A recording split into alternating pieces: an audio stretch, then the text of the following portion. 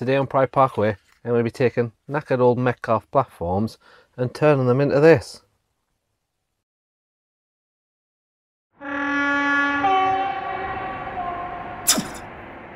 Hello and welcome to Pride Parkway. If you're new here, I'm Jeff and this is my N-Gauge loft layout. So in this video, I have been busy working on the country station right here, uh, namely the platforms and the car park for the station. I took some old Metcalfe platforms I had from my old layout that used to be down in the garage and they were ripped and they weren't great and I could have just covered them with some Metcalfe paper but I wanted to go one step further than that and use plastic card and in addition to that I've also built and installed the car park um, and that was built using a giant template. Hopefully the camera's picking that up. Uh, but it's all in this video. But before we go any further just want to say a massive thank you to everybody who joined in in the competition that was in my last video and a massive well done to John who was drawn as the winner. So enough of me talking. Let's jump into the layout. So today I am going to be starting work on this country slash heritage station. Uh, you might be looking thinking, well that looks alright, it's pretty much there. Um, these are old Metcalfe kits from my old layout and I actually have another platform right here as well uh, because there was three platforms on the old layout and I kept these and thought they might come in handy.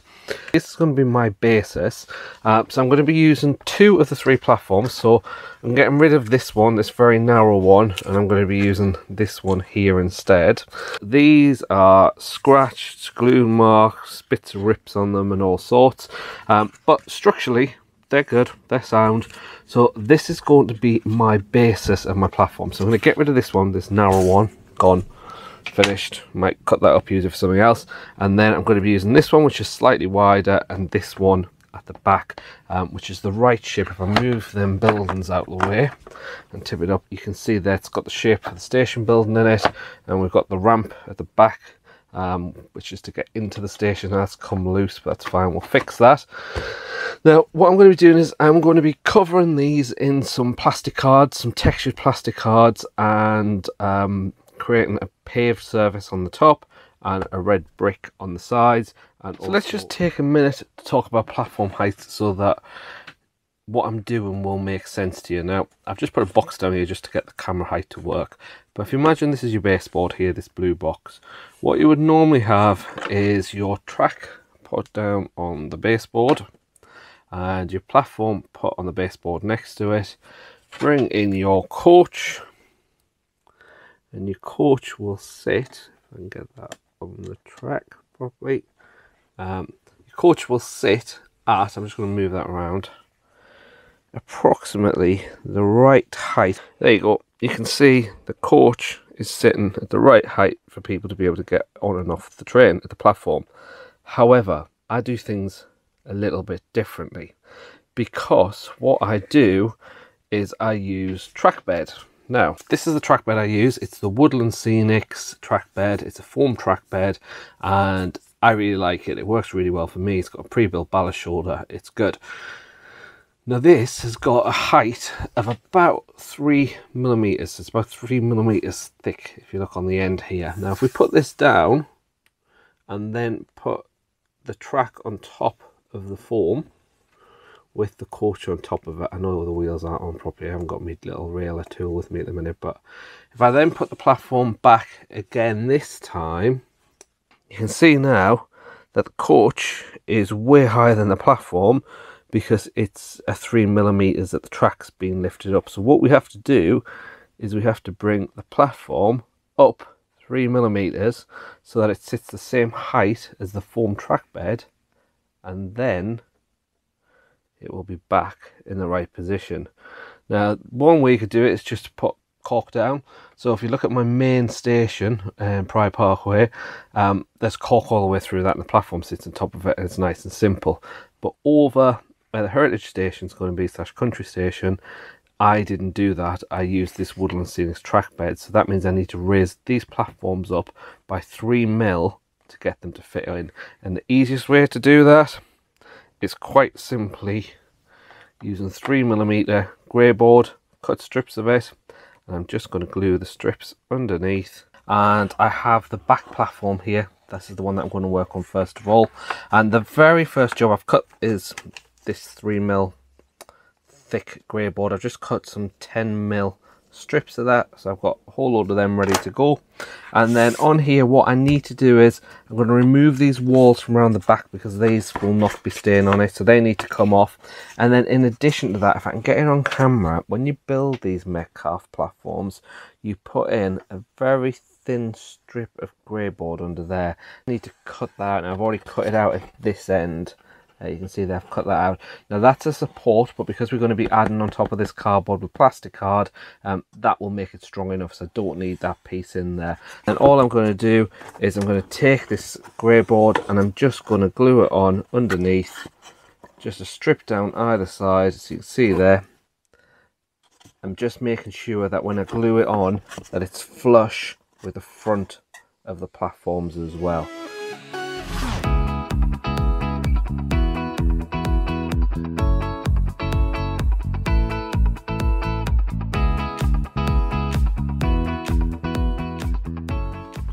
So you can see the grey board attached. Uh, I've used Roket Card Glue so I can work quite quick on this, um, but I will leave it a little while, 10 minutes or so just to dry. Um, so that's raised it by 3 millimeters, so it's now raised by the same height as the track bed is and I've removed the walls off the back. I've torn it in a couple of places. That doesn't matter.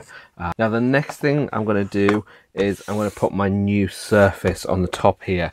And for the surface I am using Slater's plastic card. So as you can see I have now covered the entire top surface in the brick not the brick sorry in the um, pave and slab effect uh, and then I've just rubbed over the edges just with a little bit of sandpaper um, just to make sure it's nice and smooth all the way around. And then the next job for me is that I need to add the walls that are going to go all the way around the back. Uh, you might be thinking, you've cut the walls off, you could have just left them on there. I cut off, but the way you build the Metcalfe um, platforms is you build the platform and then you add the wall on the top. So unless you get it perfect, you end up with a joint in the middle of the two walls, which I didn't like the look of. Uh, I want to make this a solid wall. So what I've done is I've took some two millimeter grey board. Uh, two millimeters obviously being a foot, which is about the right kind of thickness I want for the wall. Um, obviously by the time I laminate it in plastic card it'll be slightly bigger. But these are the pieces of grey board. Uh, I've cut some of the size already. Um, and basically what will happen is this will sit on the back. And if I pick that up you can see that's obviously not exactly in place just yet. But what you've got there is a 10 mil hanging over the top which will create the wall um, that's going to go around the back of the platform. And then if you view it from behind you'll have just one solid wall all the way up. So I've put most of the grey board along the back and the edges. Um, now just as a reminder the reason we don't have a ramp on this end of the platform is because there is a bridge there with a road underneath it so we've got the nice solid wall there. Um, now the last thing that I need to do in this step is to put in this final piece. Now this is where the steps that came with the Metcalfe kit, um, I obviously need to reattach the steps in there. So I left this bit clear um, so I could work out what to do. And basically the first thing I've done is I've created the piece of 24 mil grey board which is going to go in there the same as the rest of the walls and what I've done is I've created a gap there which is the same width as the top of the stairs are there you can see. So basically that will sit like that. So that's just going to get glued onto there. Now for the steps themselves that took a little bit more work to get my head around it but basically the first thing we need to do is raise it up by three mils because we've raised the platform by three mil. Uh, so instead of using three mil grey board i've used one mil grey board and i've basically cut out each one five mil so three pieces and each one's five mil longer. What that does is it gives me step continuation on the side where the steps are and the side where the ramp is. Okay so the minute it looks like it's steps but when i put the plastic card over the top that'll just extend the ramp down.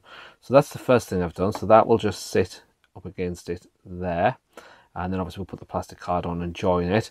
The second thing I needed to think about was the wall that goes on this side, 2 mil grey board for this, and I have used the original piece of Metcalfe to create a template but what I did was I first drew a 3 millimeter strip on the bottom so that I could raise it by 3 mil then put that there drew around it and then I've added 10 mil onto either side uh, to account for this extra piece here and here. So I've now cut out the piece of card and I've also cut out a piece of plastic card in the same texture to go on top here. So basically that will go up to there that will go on there and then be glued down to create the ramped side and then that will then be attached to the back to create the wall hopefully the camera's picking that up okay we have Slater's plastic card two millimeter brick sheet and all I'm going to do is clad all of the grey board and the front of the platforms using this. Now it's the bricks on this are tiny so they're really hard for the camera to pick up um, and the light shining on it as well but hopefully you can see it. And all I'm going to do is cut out strips to the right size so remember along the front here that we need 13 mils so 10 for the original and then 3 for what we've lifted it up. And once I've cut out those strips voila uh, they just need to be glued onto the front like so. Complicated, of course, is anywhere where there is a ramp such as this. And it's really important to remember what you don't want to do is don't glue your bricks on like that because bricks are not slanted bricks are straight.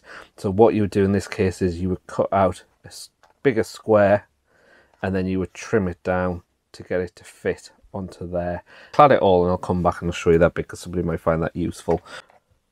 Progress. So we have got all that grey board right the way along covered in plastic hard, and it makes a massive massive difference. If I turn it around so you can see the back. So I have to turn it around off camera. And again you can see we've got all the back in place right the way along. Uh, the steps are in there. Ignore the fact they're two different colors obviously this all needs painting yet. Uh, and right the way along. This end is what it's done. So all I do is stick on the plastic card. And then I've just cut some 5 mil strips and just glued them on to kind of show them supports that you get on walls as well. Now I've just got one last bit of this to do. Let me just turn it around and it's this final bit at this end which I said I would show you how to do it uh, for anybody who doesn't know how to get the bricks so that they're running parallel instead of being on an angle.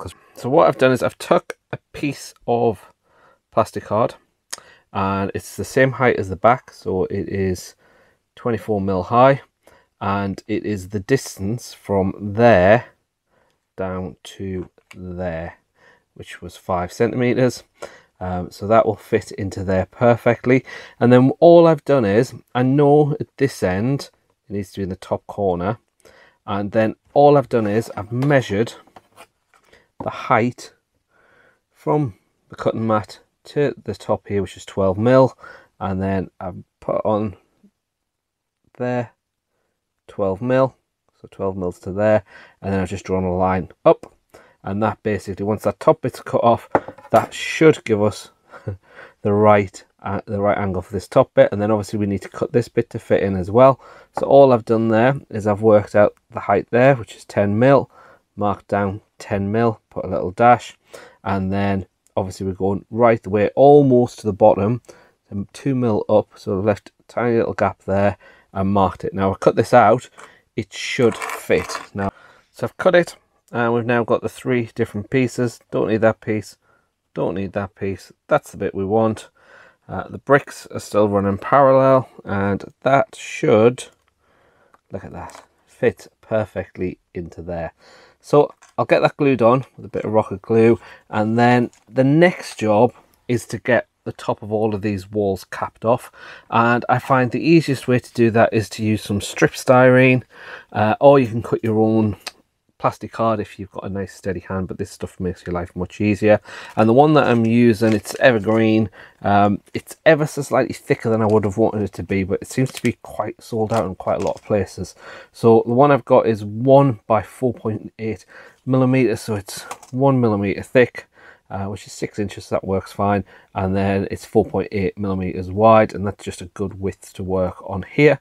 And then all I'm going to do every five um, centimeter every five millimeters sorry is I'm just going to basically put this down next to my metal rule and every five mil I just score into it. Now it's a bit of a laborious job and it takes forever but by doing that when I paint it it means that it'll represent cap and stones and I've done this on my other walls on the layout so I know it works. Um, so I'll get that done. We'll get that glued on the top uh, I'm going to do exactly the same process for the walls that I need as well um, to go around the station. So 10 mil strips of grey board and on top of that we'll put 10 mil strips of plastic card and then we'll just cap it off with some capping stone on the top.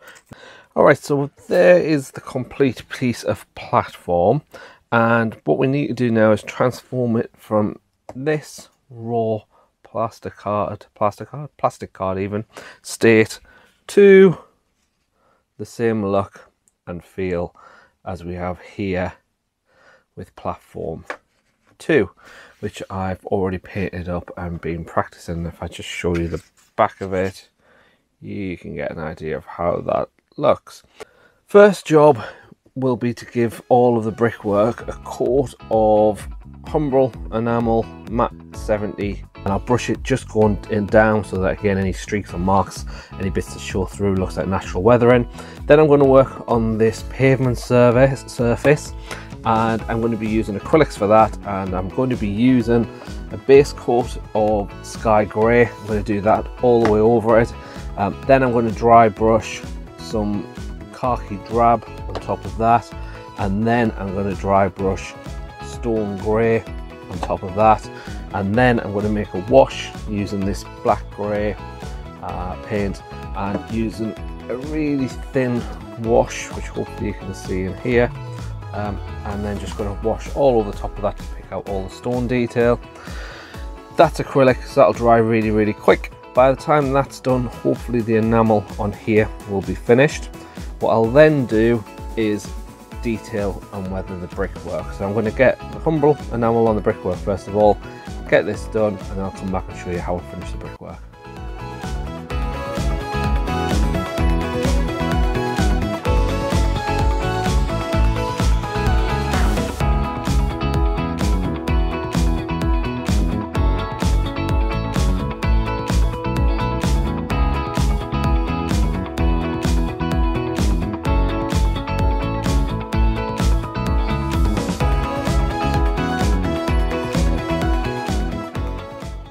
Step is to get this brickwork finished. Um, you can see, I'm not sure whether the camera's picking it up. This I keep turning this LED light off as well because sometimes I think the colours come through better when it's turned off. But it's quite patchy, the brickwork, and that's how I wanted it to be. That's why I didn't undercoat it, so you've got some of that original colour of the plastic car come through under the enamel paint. So the next job is simply to go along with some acrylic paint in white. You've seen this done before brush over it, literally give it a few seconds and then wipe it off.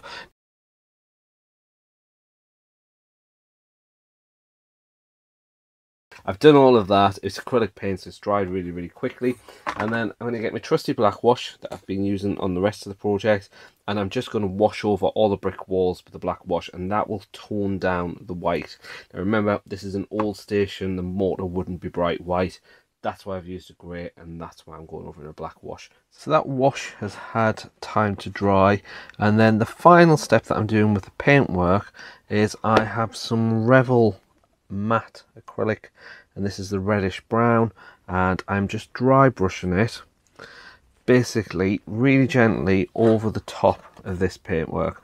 Now I've already done this side and hopefully you can see the camera's picking up difference that the dry brushing makes. I haven't done over here yet. I have done this part. So all I'm going to do is just really gently dry brush over the top of it and all I'm trying to do is get that to stick to the top surface and not to go into the mortar lines. Now a little bit will go into the mortar lines, it's inevitable, but the white is continuing to show through and that's what I want, as is some of the dirty dark wash and the original colour underneath. Um, and you just want to make sure you keep your brush nice and dry and keep going over. I go one way and then I go finish the other way, which is the way rain streaks and things would look on here and hopefully you can see there the difference. Hopefully the camera's picking it up. So this one hasn't been done yet. And this one has been done. Capping stones I've already painted. Uh, so these are just those strips of evergreen styrene uh, scored to put little lines into them um, to make it look like capping stones. And I've painted that exactly the same way as I paint the platform tops. The only thing it hasn't had yet is a wash on this once I had the wash that'll go darker. And um, all I'm going to do is glue them along the top wash them and then we'll grab some weathering powders to do the final step on these platforms. Um, the reason I don't attach these capping stones beforehand is because when you're trying to dry brush now like this basically you're going to get the cap and stones covered in the same with when you put the white on and then you wipe the white off. If you have the cap and stones on you're going to get it on. So learn that the hard way um, and that's why they're not on this platform and they'll get added right at the end. So let's get that done and then we can get this weathered with some weathering powders. If this is your first time visiting Pride Parkway, or if you've been here before and not yet subscribed, I'd be really grateful if you could hit that subscribe button. Simply click subscribe and if you press the bell icon right next to the subscribe button and select all, you'll also be notified when a video goes live. It's completely free to subscribe and it's a huge help to the channel. Thanks guys. Alright, so we've got quite a bit of time to kill while we're waiting for different layers of paint to dry. Um, so I'm going to make a start on the car park for this station as well. Now this is the area that we're working in. So we've got the level crossing just off camera here. Comes down, this is the bridge here, road comes up and then the road's going to then come up this incline and into the station. We'll have one platform at the back there uh, one platform at the front. I've got the two quarters in there just because I've been checking clearances and things while I've been working on the platforms. Um, so, not the easiest area to get into and actually when I've looked at it it's a little bit higgledy-piggledy. It's not as flat as I would have liked it to have been. So I'm going to create the car park on greyboard and then just put it down. Uh, and rather than trying to work here in this area um, I'm going to do quite a bit of work on the workbench so the first thing I need is a template of how much space I've got and then I can use the template to work out where I'm going to put parking spaces and all that kind of good stuff. So all I did was got some A4 white copier paper, just cheap paper, uh, laid it out, pretty sticked it down so that was attached to each other to fill the whole space and then cut out the shape of the platforms so that I knew exactly what space I had left and then get a pen out and start planning what exactly is going to go where. So the brown area that you see that's a funny shape, that is of course the area which is where the platforms are going to be here. Um, the paint's drying on the platforms at the moment so I can't put it in place but we've got the road which comes up here um, and the middle line is basically the road area. Anything that's got the dashed line is going to be the footpaths. And then I've marked onto here parking spaces as well. Now, really handy when you're doing this to have two things with you. One, of course, being a car and the other one being a bus and that kind of helps you to plan the spaces and so on. Now we're going to have a brick wall running right along the back here. That will allow me to put a very thin area of scenic work, some street lights, that kind of thing. And, and incidentally, I've had a few people ask me if I would do a video on LED lights on the layouts. I am going to do one and show you how I light the platforms, the buildings, and the um, street lights on this as well so hopefully that'll be helpful. That'll be a couple of videos from where we're at at the moment. Um, so idea being we have parking spaces. And I know that's big enough for a parking space. We have a road that's definitely wide enough for two vehicles to go on. I do all my roads normally about five centimeters which is a bit big for this kind of station but it works. Uh, and then as we move along we'll have station building here. We've got footpaths leading into it. Now i've got steps at this side and i've got a ramp at this side of the entrance to the platform. So i've made bigger spaces on this side so that we can have disabled spaces along here. We've got some more parking spaces along the back there as well. Now incidentally you can still on that road i've checked it it's still wide enough when the car's parked for the road to be wide enough for two cars to drive down it. Uh, we've got disabled spaces there, we've got more normal spaces there, and then we've got a gap, and this is going to be a hatched area um, to stop people parking in it. And we're going to pop into there a bus stop as well. Move the camera around. There we go. Um, so this is big enough that a bus can come in, it can turn around there, and it can park there.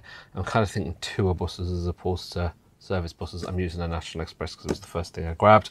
Uh, and then down this end, we have a whole load more parking spaces.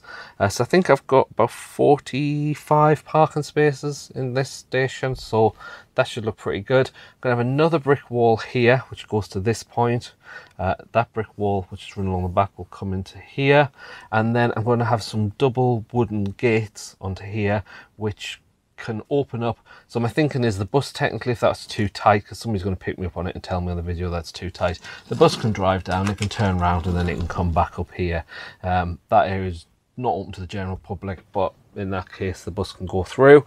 And um, we'll have some nice wooden gates on there some Enscenic farm gate and cattle grids. So we'll not use the cattle grids obviously, but we'll use two gates. Um, 60 mil is what I need there for the two gates uh, and they'll go into there which is separate off from the kind of maintenance area down there so I'm pretty happy with that now we need to start building it so I've moved to a part of the loft where I've got a little bit more space just to show you this and to kind of create a better area for me to work on. Uh, so here we have what I've just shown you, which is the paper template. And right underneath that, we have some one mil grey board which is the right size um, to match the template and that's what I'm going to use. So I'm going to work on this get the footpaths and the roads in where I want them uh, and then move it over there and glue it down so I've got a nice flat surface. Remember this is N-Gauge uh, and it's quite important to make sure your surfaces are quite flat. Is I'm going to cut out of one mil grey board all of the footpaths that I need all of the grey board footpaths will then be covered with my plastic card in the paving slabs and painted exactly the same way as I've done the paving slab platforms. Um, and then I'm going to paint all of the road and parking space areas with this Town and Country Scenic Scenic Texture Paint in light tarmac time worn. Uh, this is from Squires. Uh, it's the same stuff that I used in the TMD. I've got loads of it left, so it makes sense to keep using it up. So I'm going to crack on with this. I'm going to get the footpaths on, get them painted, get the road surface on, and then I will be back in just a flash.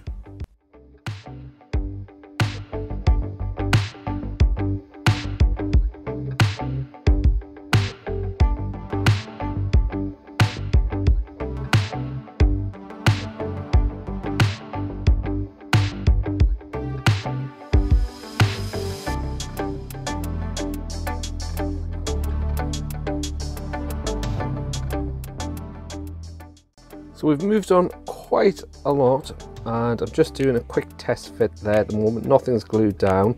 The thing you might have noticed in the last clip was I clearly got distracted when I was painting the white stripes on the platform edges. Uh, then correct now, if I bring the camera down, but I had the white stripe where the yellow stripe currently is and no white stripe. So the reason I did the white stripe there was because I was supposed to go over the top of it with the yellow paint so that it would be seen more clearly, uh, just to give the yellow to show, and then paint the white. But I obviously got sidetracked and came back up here a couple of days afterwards and was like, why have I done that for? So I put that right. You can see the road in place now uh, and I painted that with a texture paint and then I just hit it with a rattle can, the odd light misting of black spray paint and then a little bit of grey over the top as well. And I've also just painted in a couple of little repair patches as well. Uh, all the pavements are kind of there, nothing's glued down just yet. Now I'm not going to glue the platforms down because there's going to be lighting to go onto them uh, in a future video and then we'll tidy up the edges along here with some ballast as well once that's in. But what I want to get done just to get this video finished for today is to finish this car park and get it glued down. So I'm going to glue down all of the footpaths onto it and then I'm going to get all of the road markings put onto it using paint and the Woodland Scenics road marking pens as well. Um, so let's get that done. Alright guys, so time has been a little bit against me, so I haven't videoed this final part of the installation, but it's gluing it in, it's gluing the walls in along the back, putting some trees in, and um, just bringing it all together. So the car park is glued in, um, all that greenery you see along the back is glued in, but the platforms are still loose because I've got lighting and all kinds of things to add to these still. Um, I put a little picture in right now so you can see the height of the platforms. So I'm really pleased with how this has all come together. There's still a whole load more greenery to go in this area here along to where the road bridge is, uh, all the way along this back area here. Uh, we've got some work to do with the signal boxes because obviously that wouldn't be tarmac, so that needs sorting out. Um, once the platforms are glued down, we're going to have to reballast along here. So still lots to do, but I'm pleased with what we've got done so far. I've been really busy away from the railway. Um, what a difference a few months makes. But um, just nipping up here and kind of just taking half an hour here and there. And I know quite often a lot of people say they don't have the time to, to model. And I've been a bit like that myself of late. But I'm just literally taking, if I've got half an hour, to come up here, even if it's at 9, 10 o'clock at night, I'm just coming up for half an hour. Um, my other half's watching all kinds of trashy Christmas programs, so I've got a bit of an excuse to escape. But um, yeah, that's what it looks like. Um, let me know in the comments down below what you think. So I'm going to leave this video there. Um, I could keep chipping away and working on little bits of this. Um, just keep going basically. Um, but I'm going to leave it for now. Uh, the next video I'm going to be starting work on both a main station building and I'm going to be kit bashing, killing an old Metcalfe station building for that. Uh, and actually, I'm going to kit bash it into a station which closed in the mid 60s in the town where I grew up. Uh, it's quite a simple design, so I thought I'd make it quite an interesting little station to go here. Um, in addition to that, I'm also going to be getting the lighting on the platform and in the back of the car park as well. I've had a few people ask me for that, so we'll get that done as well. And um, yeah, that's next. So if you're not already subscribed hit that subscribe button down below. And if i'm not back in the next week or so which i'm not sure if i will or I won't be have an amazing christmas guys. Stay safe take care of each other and i'll see you soon. Cheers. Bye bye